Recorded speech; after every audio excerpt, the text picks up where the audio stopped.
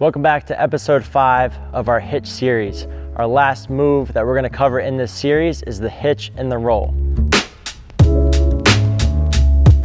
All right, the hitch and roll is predicated off of, again, going underneath similar to a face dodge.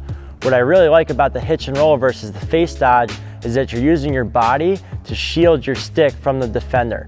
It's also a great way to really get over rotated to really look like you're about to take your shot. And then from here, all you have to do is drop, step, and pivot, seal your defender off on your back, and now you're getting underneath.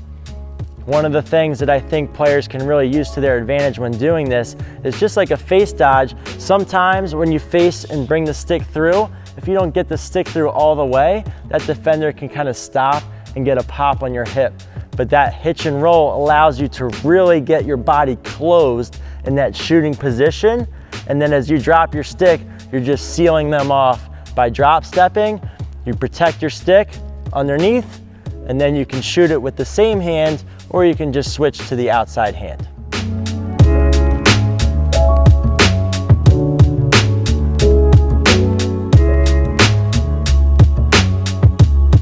Thanks for tuning in to our five-part Hitch series. At any time, you can go back on our platform or the YouTube channel and make sure you're checking out each episode. Again, these are all about finding different tools to add to your arsenal. I don't expect each player to have all five moves down perfect or always use all five moves. It's, it's up to you to take one or two or maybe three and add them into your game and get really good at those moves. That's what's going to be effective.